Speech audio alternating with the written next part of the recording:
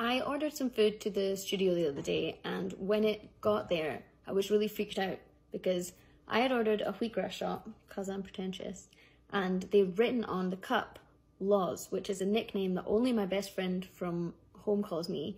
Nobody else ever calls me that, and I was very disturbed because I've got a fake name on all my food delivery apps, and I was like, guys, I'm afraid we have to move.